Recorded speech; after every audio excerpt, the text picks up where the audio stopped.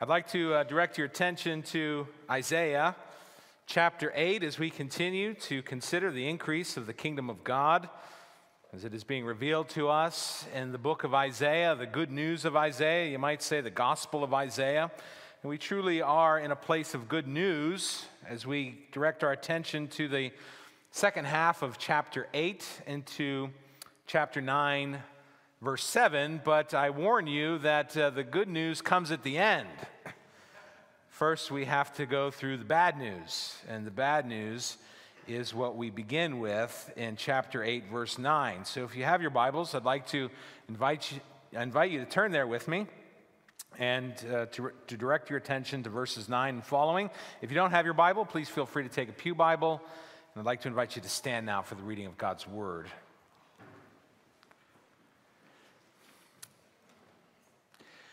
Be broken, you peoples, and be shattered. Give ear, all you far countries. Strap on your armor and be shattered. Strap on your armor and be shattered. Take counsel together, but it will come to nothing. Speak a word, but it will not stand, for God is with us. For the Lord spoke thus to me with his strong hand upon me and warned me not to walk in the way of this people, saying, Do not call conspiracy all that this people calls conspiracy, and do not fear what they fear, nor be in dread. But the Lord of hosts, him you shall honor as holy. Let him be your fear, and let him be your dread. And he will become a sanctuary and a stone of offense and a rock of stumbling on both houses of Israel a trap and a snare to the inhabitants of Jerusalem. And many shall stumble on it, they shall fall and be broken, they shall be snared and taken. Bind up the testimony, seal the teaching among my disciples. I will wait for the Lord, who is hiding his face from the house of Jacob, and I will hope in him.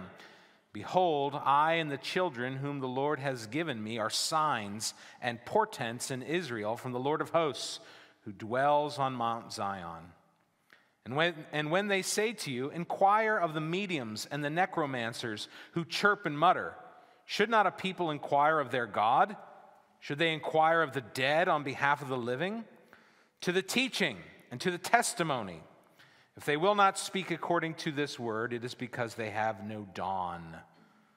They will pass through the land greatly distressed and hungry. And when they are hungry, they will be enraged and will speak contemptuously against their king and their God and turn their faces upward. And they will look to the earth, but behold distress and darkness, the gloom of anguish. But they will be thrust into thick darkness. And now the good news. But there will be no gloom for her who was in anguish. In the former time, he brought into contempt the land of Zebulun and the land of Naphtali, but in the latter time, he has made glorious the way of the sea, the land beyond the Jordan, Galilee of the nations. The people who walked in darkness have seen a great light. Those who dwelt in a land of deep darkness, on them has light shone. You have multiplied the nation. You have increased its joy.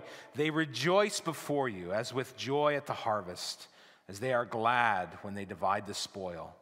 For the yoke of his burden and the staff for his shoulder, the rod of his oppressor, you have broken as on the day of Midian.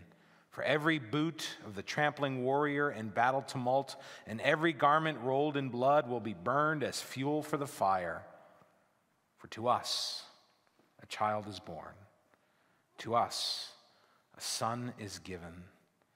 And the government shall be upon his shoulder, and his name shall be called Wonderful Counselor, Mighty God, Everlasting Father, Prince of Peace. Of the increase of his government and of peace there will be no end on the throne of David and over his kingdom, to establish it and uphold it with justice and with righteousness from this time forth and forevermore. The zeal of the Lord of hosts will do this. Heavenly Father, as we come to your word this morning, it moves us. It moves us because of what it means what it meant to Jerusalem and Judah long ago, what it means to your people today. It is the gospel.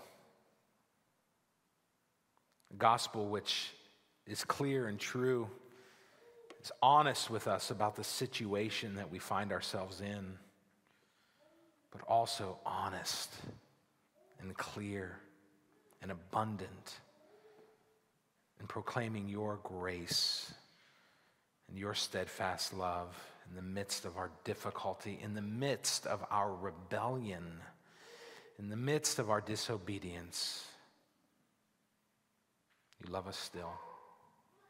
Help us, Lord, to be a people that never graduates from the gospel, but continues to go back to it again and again and again, to hear it proclaimed in order that our hearts might melt and that we might be shaped and fashioned by it and by the one who made it possible, even the Lord Jesus Christ, who gave his life as a ransom for many. He is the one the child that was promised long ago, who did come.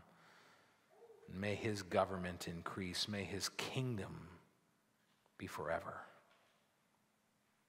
Amen. Thank you. Please be seated.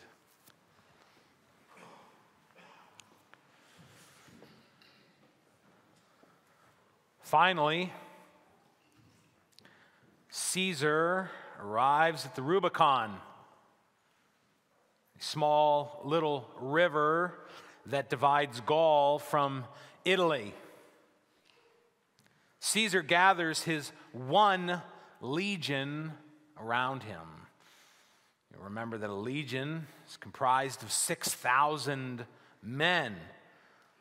Pompey has 10 legions and the support of the Senate. He is the enemy of Caesar, but Caesar is undaunted by these odds. Suddenly, impulsively, Caesar crosses the Rubicon and cries out, Alea jacta est. The die is cast. Crosses the Rubicon only to find that his enemies have fled. He chases Pompey around the Mediterranean. Finally, he arrives in Alexandria, where the king of Egypt, Ptolemy the 13th, presents him with a gift the head of Pompey. The die is cast. Caesar crosses the Rubicon. He is pursuing his enemies against great odds. There is no turning back now. The die is cast, a phrase which has come to mean, as you and I know, we've heard it before no turning back now. This is really the place that we find ourselves in Isaiah chapter 8 verses 9 and following. The die is cast. There's no turning back now. It's been five years since Uzziah passed away. Uzziah, who was a good king in Jerusalem. Isaiah had the vision on, in the year that Uzziah died of Jesus, of the Lord, the king, the one who is the ruler of all the world. Jerusalem, Judea, Israel, all the world. Isaiah has a vision of him. His glory fills the temple. But it's been five years. It doesn't seem as though that glory is permeating out of the temple and among the people. Ahaz is now king. And there is a rival power that is rising in the north. Assyria is rattling its saber Israel and Syria are afraid. They're looking to Judah, their brothers in the south, to lend support. Ahaz wants nothing to do with it. In fact, Ahaz is secretly hoping that he can make an alliance with Assyria, that Assyria will act favorably towards him. Isaiah goes to him at at the washer's field. God directs him to go.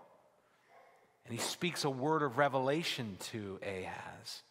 Don't worry about this burnt out fire, this spent fire called Israel and Syria. They are burnt out. They will not prevail, and I will protect you from Assyria if you stand firm in faith. Isaiah goes on, offers Ahaz an amazing gift.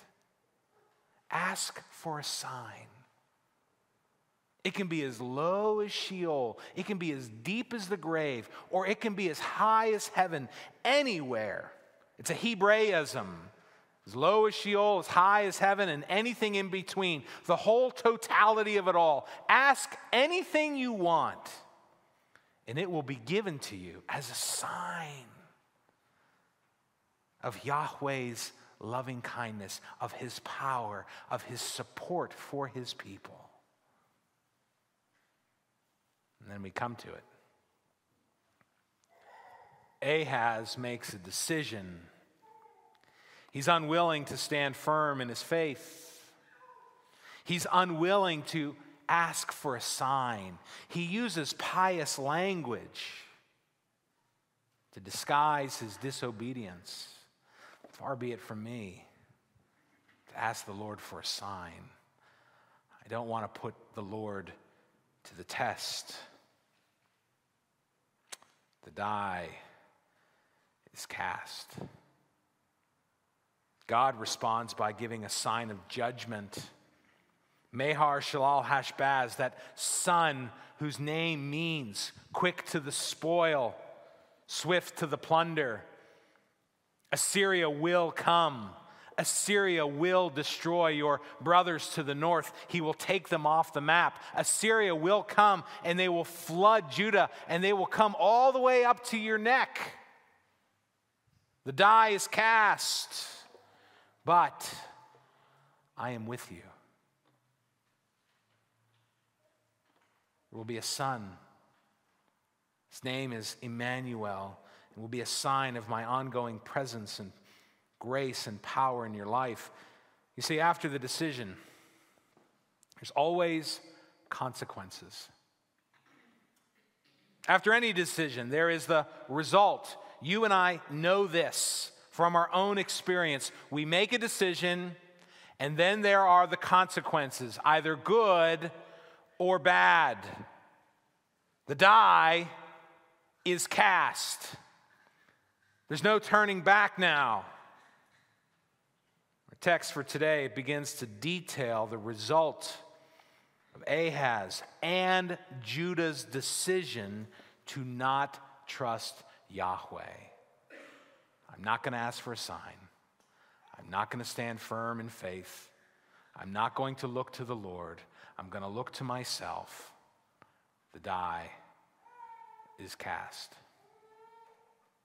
And so there are consequences. And Israel, Judah, Ahaz, they must live with the consequences. A number of consequences that are a result of this decision. Let me share with you a number of them that are uh, revealed for us in the text. The first is this God, after the decision that is made by Ahaz, ratified by Judah, God then reasserts himself as God. I am the Lord. I am God. I am the King. Trust in me. They say no, and God comes back and says, I'm still the King. I'm still the Lord. I am still Yahweh.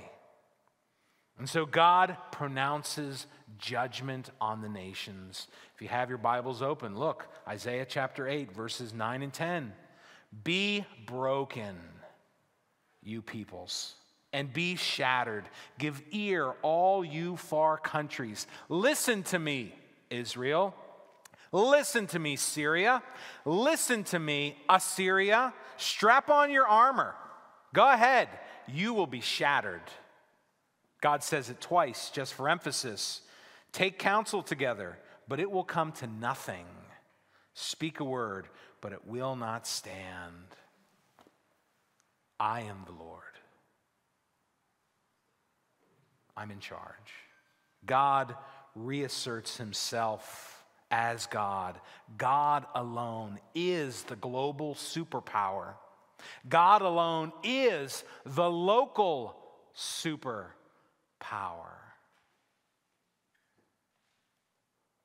Judgment. But God is kind. God is with us, Isaiah says. And so the second consequence after this decision is that God reassures his people. He reassures that he is going to secure his promise by use of a remnant. The remnant's been here all along, humming in the background. Remember back in chapter 7, when Isaiah goes to Ahaz, he's told to bring his son with him, Shear Jashub, which means a remnant shall return. God's people will prevail because God is in charge. And Ahaz has rejected God. Judah has rejected God. But God is going to mete out his promises. He is going to be faithful to his word. God remains with us, and He is happy to work with small forces. He's done it before. When the entire world was filled with a population whose hearts were only and always and continually set on evil, God saw one man. His name was Noah. He allowed his favor to rest upon him, him and his family. And they spent a long, long time building an ark, and God preserved through a remnant. Against the great forces of God's judgment, God worked with small forces, with a remnant, and preserved the people in order to build and to make a people who are holy and blameless in his sight. God worked with all the nations in the world. He looked, and there was one man. His name was Abraham. And he called him out. He said, I want you to listen to me. I'm going to make you as numerous as the stars. You're just one man. You and your wife Sarai, you don't have any children. But I am going to bless you and multiply you. You are small now. You're a remnant among all the nations. But I'm going to give you a, a people and I'm going to give you a name. People will know your name. I'm going to give you a land, a land flowing with milk and honey that can occupy be occupied by the people. And through you, through your family, through this small little people, I am going to bless the world. God delights to work with small forces. He looks at Israel as they have multiplied in Egypt, as they have grown and grown and grown, and he sees there one man Moses. He speaks to him in a burning bush. He says, I'm going to use you, Moses. No, no, no, not me. I, I don't speak well. I'm not very good in crowds. No, it's you. I'm going to raise you up and I'm going to allow my great power to flow through you, small as you are in order to release my people. God is, delights to use small things, small forces. Samuel goes and looks for the new king. Israel had enjoyed the stature, this tall, broad shouldered man by the name of Saul, a king you could really look up to, this giant man. His heart was not after God. so God said, I want you to go. Find me my new king. I'll tell you who he is. Go to Jesse's house. Look to all the brothers. Samuel looks. Is this the one? Nope, not him. Is this the one? Nope, not him. Is there anybody left? Well, just the runt of the family. This small little guy, David, who's out in the fields, bring him in. He is the one. The consequences of disobedience is that God reasserts himself as God and he does not leave his people. He delights, he's happy, he will work with small forces, he will work with small numbers in order to accomplish his promise. And he'll do it again. God now begins to make distinctions. The third consequence distinctions between the obedient and the disobedient. You see, God has tremendous zeal for obedience. God has tremendous zeal for obedience. Look at chapter 8, if you have your Bibles open still. And consider verse 11 For the Lord spoke thus to me with his strong hand upon me, and warned me not to walk in the way of this people, saying, Do not call conspiracy all that the people call conspiracy, and do not fear what they fear, nor be in dread.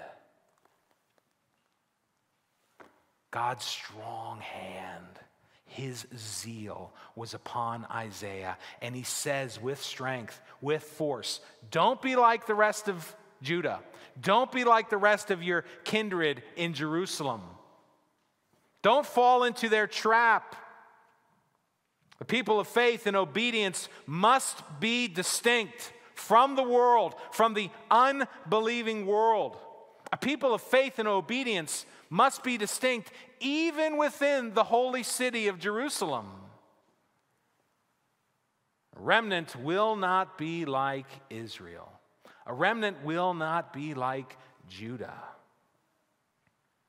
The church, if you will, must not be like the world. God has a zeal for the church. The strong hand of the Lord is upon the church, the people of God, to be distinct. The world, it engages in conspiracy.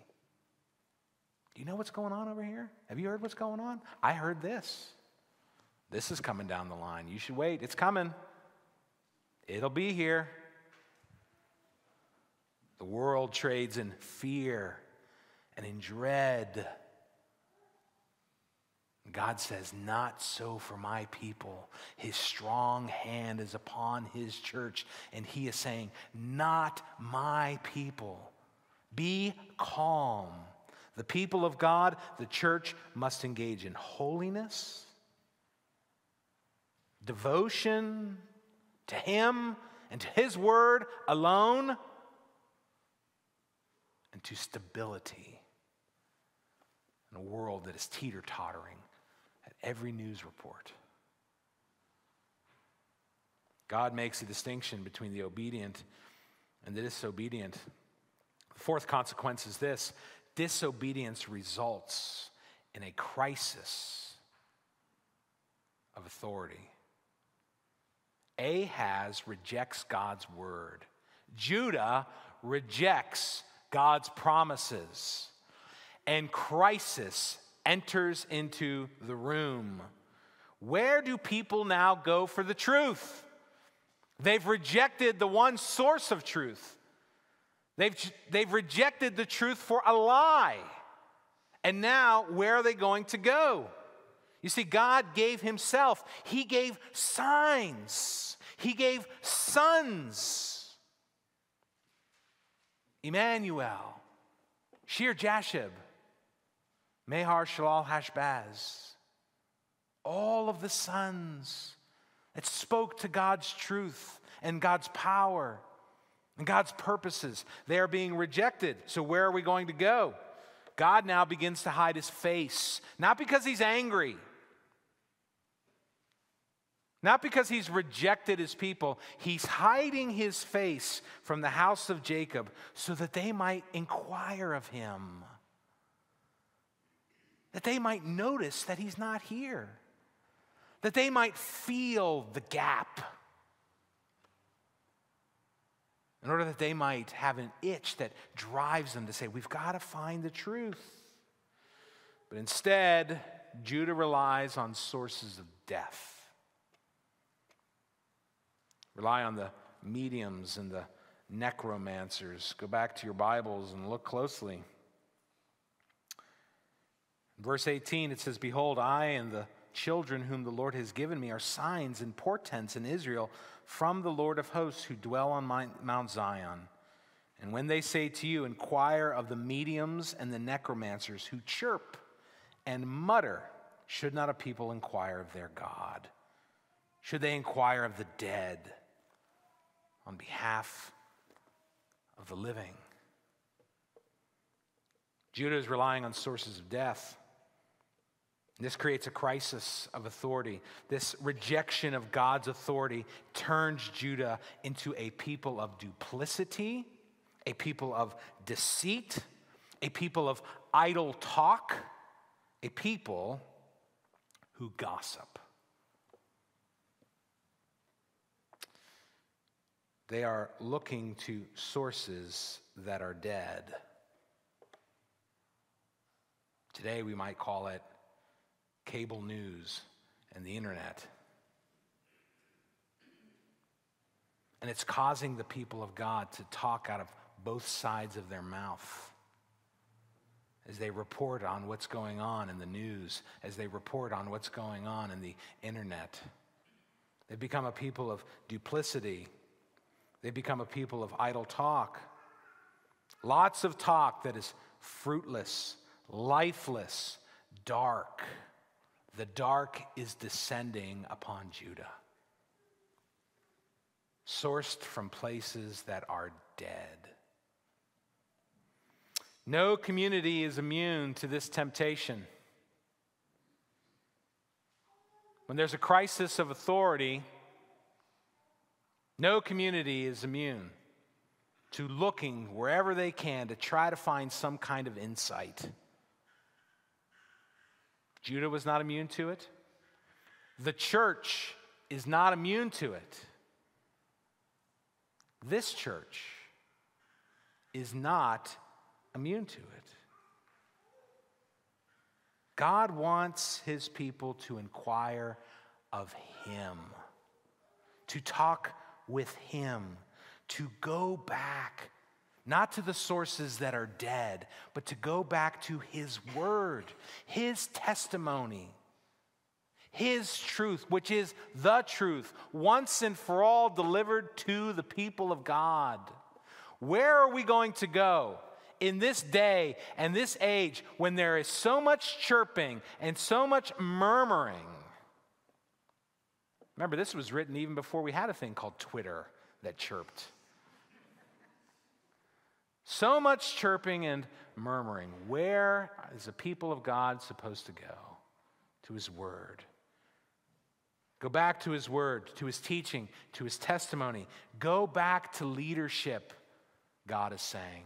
Go to Isaiah and ask him this Isaiah, what does God have to say? Help us to know the truth. His word is like the light of the dawn.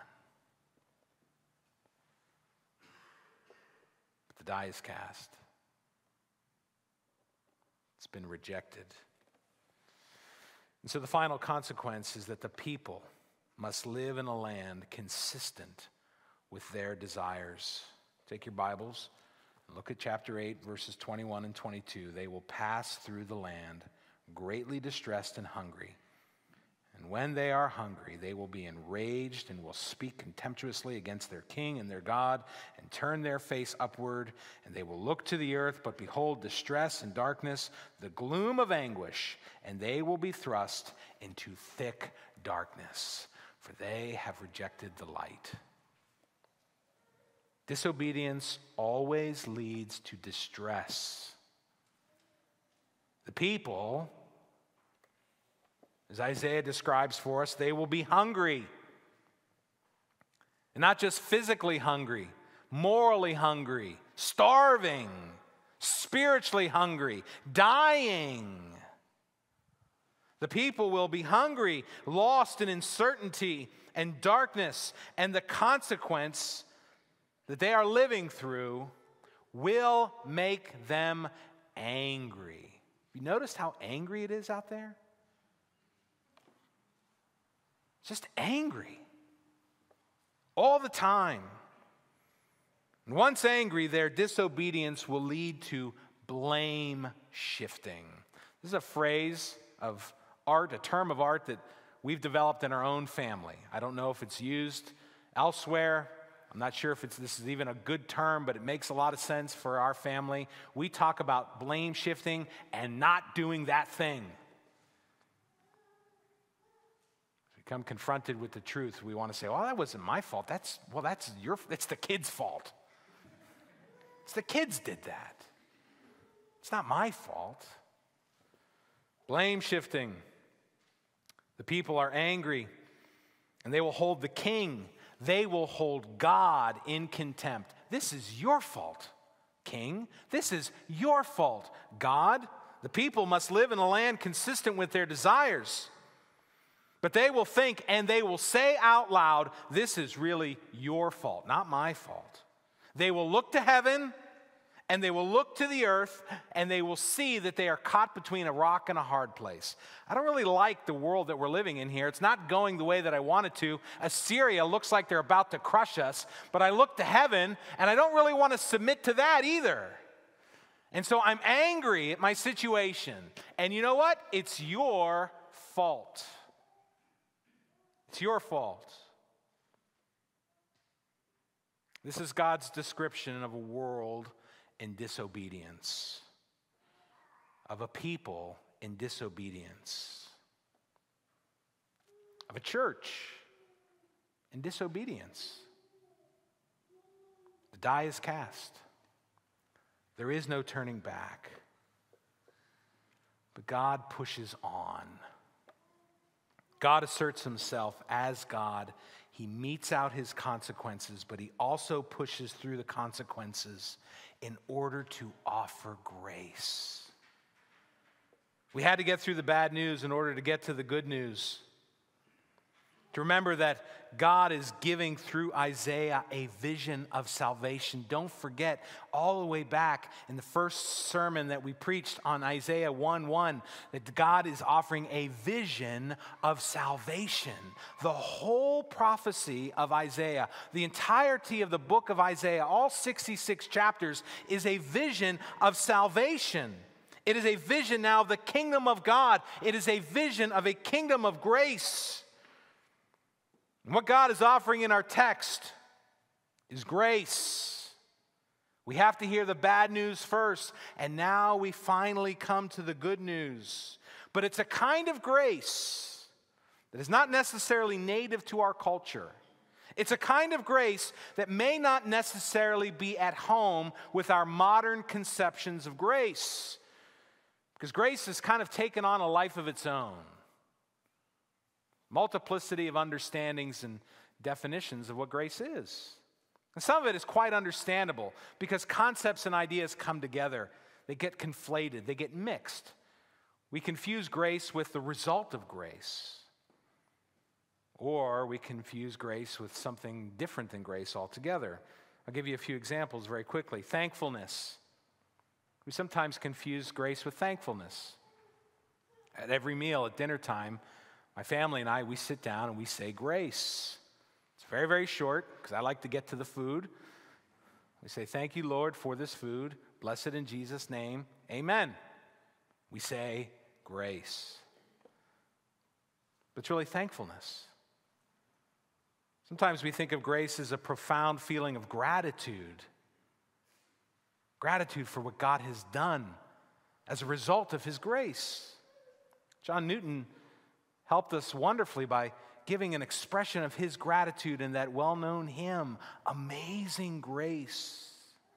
Really is an expression of gratitude as much as it is an expression of grace. Sometimes we confuse grace with patience. I extend grace to my children as I'm trying to teach them how to tie their shoe. But I'm really extending patience. Forgiveness.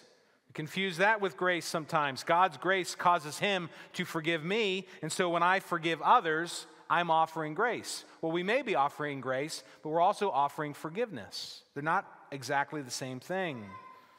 Sympathy, putting ourselves in the shoes of others, understanding them, offering them kindness and care.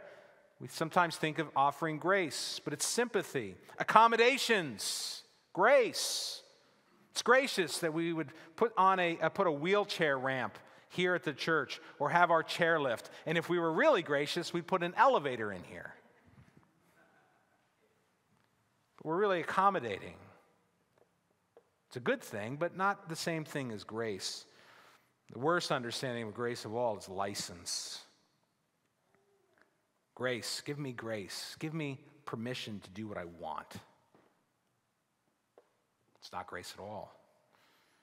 Grace, we know, is unmerited favor. Unmerited favor that does something in us, something specific in us. And so, at long last, we finally come to the big idea of the text that in the kingdom of Emmanuel, grace is unmerited favor that changes our hearts in order that we might find joy in God's way.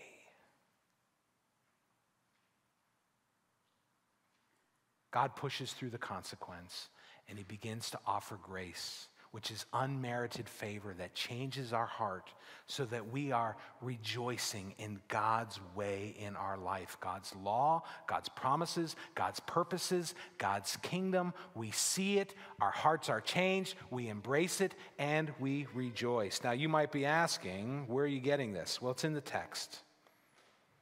This grace, this joy within the limits of God, this rejoicing in God's constraints Look at verse uh, chapter 9 verse 1 closely.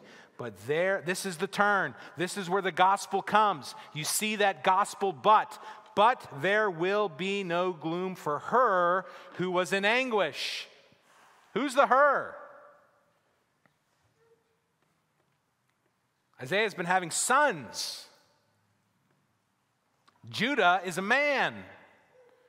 Who is the her? The her is the remnant. Her is the church.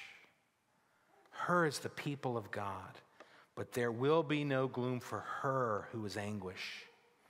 Another way of translating that line is this there will be no distress for her who was in constraint.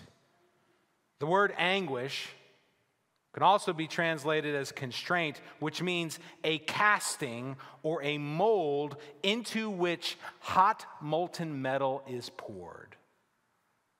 Isaiah is giving us a picture, a word picture. Think of a heart, cold and steely, that God begins to melt down God warms up and begins to melt down, and God is recasting it. You see, the die is cast by God, and the anguish is experienced by those who reject and chafe at the limitations or the constraints or the laws given by God. The chafing and the anger and the frustration is experienced by those who reject the kingdom of Emmanuel. But for those who have encountered grace, as those who have been met by grace, their hearts begin to melt as they get a vision of Emmanuel as they get a vision of God's remnant, as they get a vision of God's goodness and purpose in their life, their hearts begin to melt. There is no distress for her who is melted down and recast. Grace is a new heart that finds joy in God's kingdom, that finds joy in the constraints. And so let me ask you this Are you distressed? Are you in anguish? Are you resisting the melting? If you want to know joy, then you must yield to God's grace. Do our Christian commitments cause us grief? Or do they cause us joy? Do God's constraints in our lives cause us anguish? Ah, oh, I gotta go do that. There's this thing the church is doing.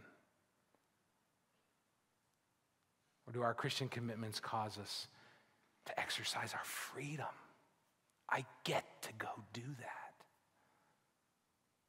Do we delight over the increase of Emmanuel's kingdom in our lives? Or do we find them imposing, limiting? See, God wants us to be a people of grace in order that we might be a people of obedience. And God wants His zeal, His zeal, to be a source for our zeal, that we might zealously minister His grace and walk in steadfast obedience to Him. It is the zeal of the Lord of hosts that will do this. In you, in me. As we close this morning, I want to remind you that this has been a season of gloom. It's been a season of anguish. It's been a season of dark times. But Emmanuel is with us.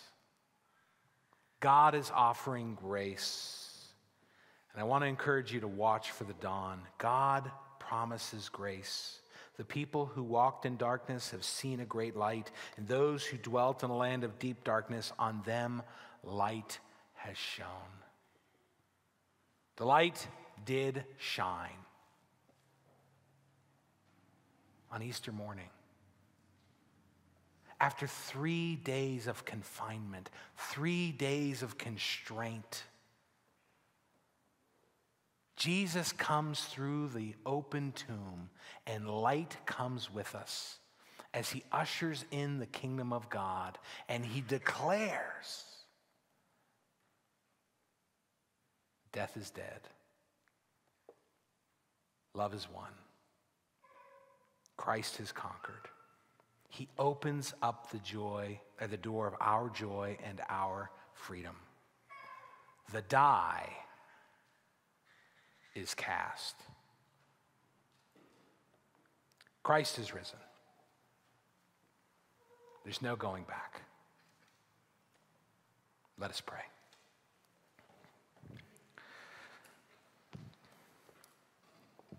Lord Jesus Christ, we thank you for being our King. We thank you that you are Emmanuel. We recognize that there are consequences for our disobedience to you. And you will not be shy. You will not restrain the meting out of the consequences for disobedience.